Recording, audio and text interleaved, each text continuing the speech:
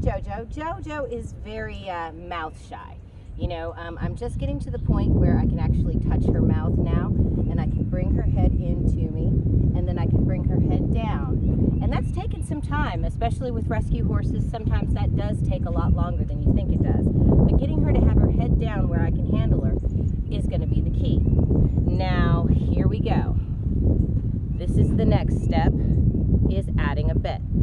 Not that I plan on riding her with a bit, but she does need to know how to put this in her mouth. Now I am going with a three-piece bit, so that way the first time that she feels pressure, it's not going to pinch the top of her mouth, um, and it's nice and thick. Remember, the thicker this piece is right here that lays over the bars, the less it's going to be pressure-wise. It's going to distribute the pressure.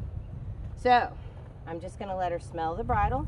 I'm going to do the same sort of thing that I did with a side pull. I'm going to get her to put her head down and I'm going to come in here where I can get right between her eyes and I'm going to start working up. I'm just going to let her feel that.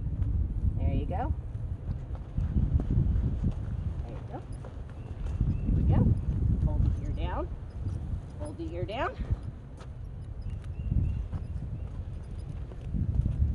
Now, definitely I didn't tighten this bit up as much as it should.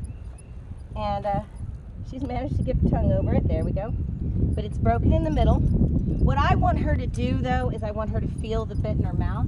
I don't, like I said, I don't necessarily ride with bits, but I want her to learn how this feels and I don't want her to be afraid of it. So we're going to incorporate having her wear a bit into our groundworking exercises. And we're gonna let her keep this in her mouth for a little while until she quits mouthing it. And uh, we're gonna go ahead and go along with the rest of our groundwork. Thank you so much for watching today's video. And if you enjoyed the video, please give us a like. And if you haven't already, please subscribe. We're putting out new content every week.